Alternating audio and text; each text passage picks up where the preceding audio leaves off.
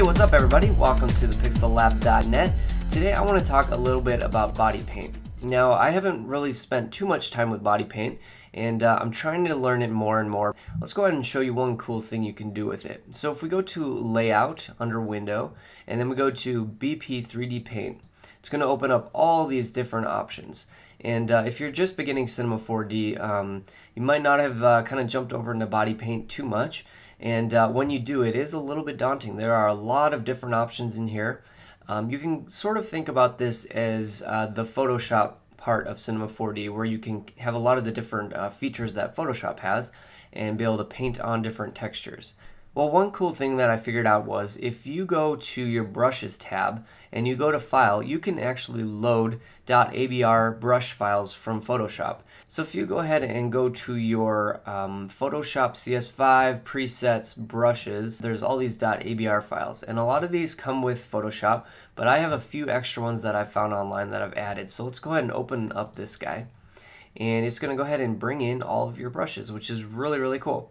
So then what we can do is just double click on one of these guys and you have all of your brush settings up here.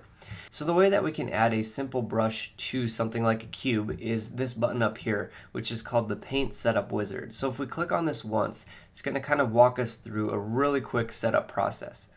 And it's going to put the, uh, the texture on the object. You can also just put on the material. We'll go ahead and put it on the cube that I have. And then all these guys I'm just going to leave default, hit next. And right here is your material options. And this is going to be where that uh, brush preset is going to go. If it goes in your alpha channel, let's actually go ahead and put it in our color channel.